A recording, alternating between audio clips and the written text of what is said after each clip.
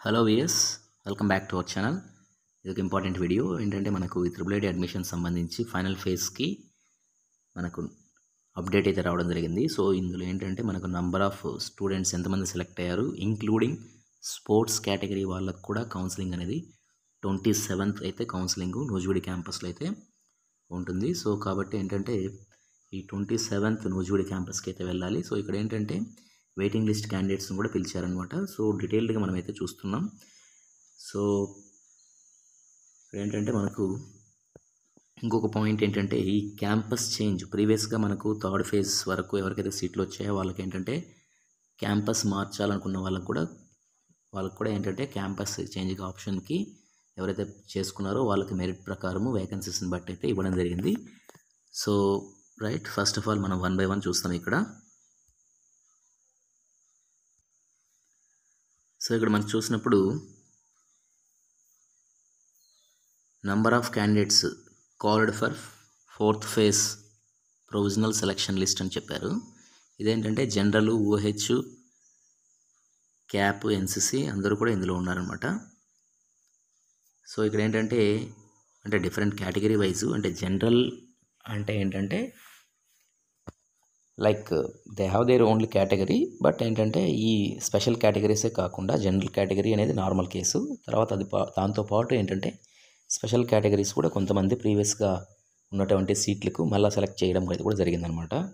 So ఇక్కడ మనం చూసినప్పుడు ఏంటంటే సుమారు ఇంక్లూడింగ్ మన జనరల్తో పాటు ఈ క్యాప్ ఎన్సిసి పిహెచ్ అనమాట ఇది. ఓహెచ్ కాదు పిహెచ్. సో వీటన్నిటికి కలిపి ఏంటంటే మనకు లిస్ట్ ఆఫ్ ది క్యాండిడేట్స్ని మనకు మనకైతే మెరిట్ ఆర్డర్ వైజ్ అయితే సెలెక్ట్ చేయడం జరిగింది. వాళ్ళు ఏ క్యాంపస్కి సెలెక్ట్ అయ్యారని కూడా మెన్షన్ చేశారు.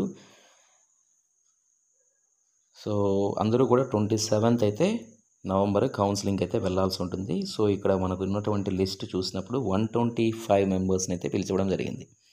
సో వన్ ట్వంటీ ఫైవ్ మెంబర్స్ని ఇంక్లూడింగ్ మనకు ఏంటంటే ఈ పిహెచ్ ఎన్సిసి క్యాప్. దీంతో పాటు ఏంటంటే స్పోర్ట్స్ కేటగిరీ వాళ్ళకు ఒక ట్వంటీ మెంబర్స్ ఉన్నారు. సో ఆ లిస్ట్ కూడా చూస్తాం.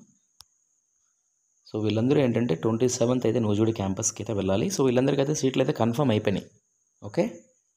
బట్ మళ్ళీ వీళ్ళలో ఏంటంటే కొంతమంది ఒకవేళ జాయిన్ అవ్వకపోవచ్చు అంటే రాకపోవచ్చు కౌన్సిలింగ్కి. కాబట్టి ఏంటంటే మళ్ళీ వన్ ఇస్ టూ త్రీ ప్రకారం ఏంటంటే మిగిలిన వాళ్ళకు వెయిటింగ్ లిస్ట్ అనేది కూడా పిలి పిలిచారు.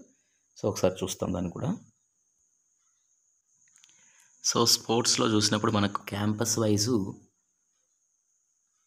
ఒక ఫైవ్ మెంబర్స్ వరకు ఇవ్వడం జరుగుతుంది. సో కాబట్టి ఏంటంటే ఫోర్ క్యాంపసెస్ కాబట్టి మనకు జీరో పాయింట్ ఫైవ్ పర్సంటేజ్ కాబట్టి ఫోర్ క్యాంపసెస్కు ట్వంటీ మెంబర్స్ అయితే సెలెక్ట్ చేశారు.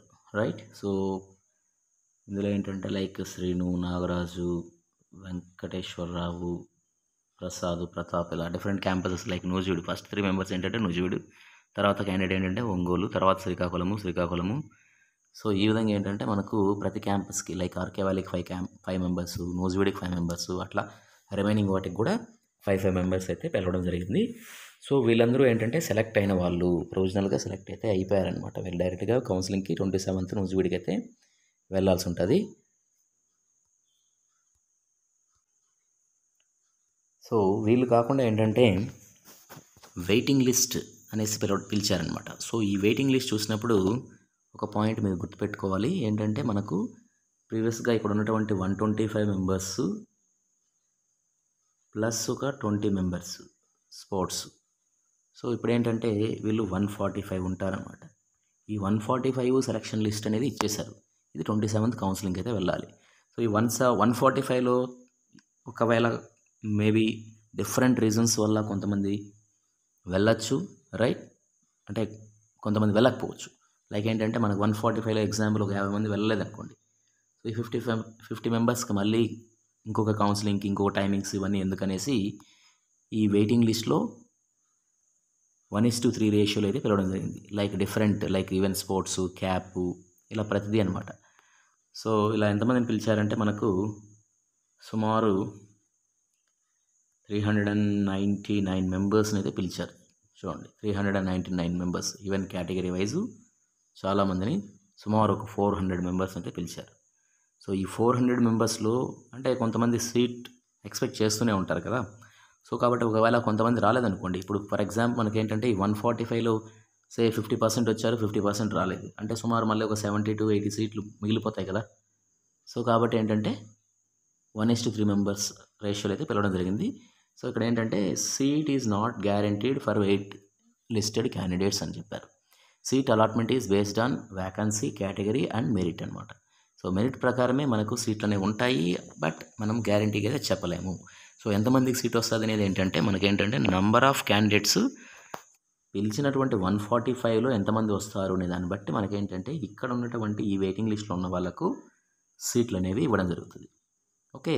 సో కాబట్టి as more number of waiting list candidates have been called RGUKT is not responsible for not getting a seat so ఇక్కడ ఏంటంటే మళ్ళీ కేటగిరీ వైజ్ ఏంటంటే counselling అనేది సో ఇదివరకు చెప్పారు కదా ఎయిట్ ఓ క్లాక్కి సెలెక్టెడ్ వాళ్ళు రిపోర్ట్ చేస్తే వీళ్ళకి ఏంటంటే ఒక వన్ ఆర్ టూ అవర్స్ తర్వాత మళ్ళీ ఏంటంటే వీళ్ళు రిపోర్ట్ చేయాలి. బట్ ఏంటంటే కేటగిరీ వైజ్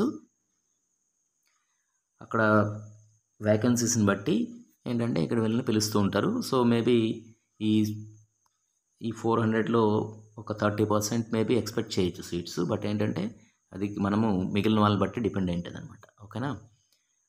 లైక్ ఇంకొకటి ఏంటంటే క్యాంపస్ చేంజ్ గురించి కూడా ఎవరైతే పెట్టుకున్నారో దాని గురించి కూడా చూస్తున్నాం. సో ప్రీవియస్గా ఉన్నటువంటి మెరిట్ దృష్టి ఏంటంటే మనకు క్యాంపసెస్ అనేవి డిఫరెంట్ క్యాంపసెస్. సో లైక్ ఏంటంటే మనకు నూజివీడు ఆర్కేవాలి ఒంగోలు శ్రీకాకుళం క్యాంపస్లో ఎవరికైతే సీట్లు వచ్చి ఉంటాయో వాళ్ళకి ఏంటంటే మళ్ళీ ఉన్నటువంటి మెరిట్ ఉన్నటువంటి వేకెన్సీస్ని బట్టి ఈ క్యాంపస్ చేంజ్కి ఎవరైతే ఆప్షన్ పెట్టుకున్నారో దాని ప్రకారం మెరిట్ ప్రకారం ఏంటంటే ఎవరైతే ఈ ఉన్నారో వీళ్ళు ఏంటంటే campus changed in fourth phase counselling. So వీళ్ళు ఏంటంటే ఇక్కడ లిస్ట్ ఆఫ్ క్యాండిడేట్స్కి అయితే ఫోర్త్ ఫేజ్ కౌన్సిలింగ్లో క్యాంపస్ అనేది మార్చేశారు. సో కాబట్టి ఈ previous allotment for example first candidate చూసారనుకోండి Satyababu ఈ అలాటెడ్ అయిన Srikakulam now he shifted to Ongole అనమాట అలాగే ఇంకొకరు ఏంటంటే Krishnaiah second candidate. So he got uh, Ongole but he shifted to RK valley. Right. So but మీకు తెలుసు ఈ ఆర్కే వ్యాలీలోనే ఒంగోలు స్టూడెంట్స్ కూడా ఇంటర్మీడియట్ మొత్తం చదువుతారు. సో ఇక్కడ ఏంటంటే థర్టీ మెంబర్స్ అనమాట సో థర్టీ మెంబర్స్ ఏంటంటే క్యాంపస్ అనేది మార్చుకోవడం జరిగింది. ఫర్ డిఫరెంట్ రీజన్స్ మేబీ వాళ్ళకి దగ్గరగా ఉండొచ్చు. రైట్ సో ఇలా ఏంటంటే మార్చుకున్నారు ఒక క్యాంపస్ నుంచి ఇంకో క్యాంపస్కి అయితే మార్చుకున్నారు అనమాట సో ఈ థర్టీ మెంబర్స్ మాత్రమే మనకు క్యాంపస్ చేంజ్కి సంబంధించి ఫైనల్గా అయితే డేటా వచ్చిందనమాట రైట్ సో ఇదివరకు మనం చెప్పినట్టు ఈ ఫైనల్ ఫేజ్ సంబంధించి ఇచ్చినటువంటి టైమింగ్ అనేది ఏంటంటే మనకు ట్వంటీ సెవెంత్ నవంబరు ఎయిట్ ఓ క్లాక్కి reporting time for selected candidates అయితే లెవెన్ ఓ క్లాక్కి వెయిటింగ్ లిస్ట్ క్యాండిడేట్స్ అనమాట so seat is not guaranteed అన్నారు. సో కాబట్టి ఏంటంటే పిలిచిందే మనకు వన్ ఇస్ టు త్రీ కాబట్టి ఈ వన్ ఫార్టీ ఫైవ్లో సో రిమైనింగ్ ఎంతమందికి వస్తుంది అనేది అక్కడ నుంచి వెళ్ళే వాళ్ళని బట్టి వెయిటింగ్ లిస్ట్లో ఎంతమందికి అనేది మనకు అక్కడ ఫైనలైజ్ అయితే అవుతుంది. సో ఇది మనకు ఓవరాల్గా ఏంటంటే ఈ త్రిబుల్ ఐటీకి సంబంధించి అడ్మిషన్స్ గురించి ఫైనల్ ఫైనల్ ఫేజ్ కౌన్సిలింగ్కి రైట్? సో అలాగే మనకి ఏంటంటే ఈ కట్ ఆఫ్స్ కూడా నేను ప్రీవియస్గా అయితే వీడియో చేశాను థర్డ్ ఫేజ్కి. సో ఈ ఫైనల్ ఫేజ్ అనేది కౌన్సిలింగ్ వచ్చిన తర్వాతనే మనకు ఇంకో క్లారిటీ అయితే వస్తుంది. Right? Thank you thank you very much.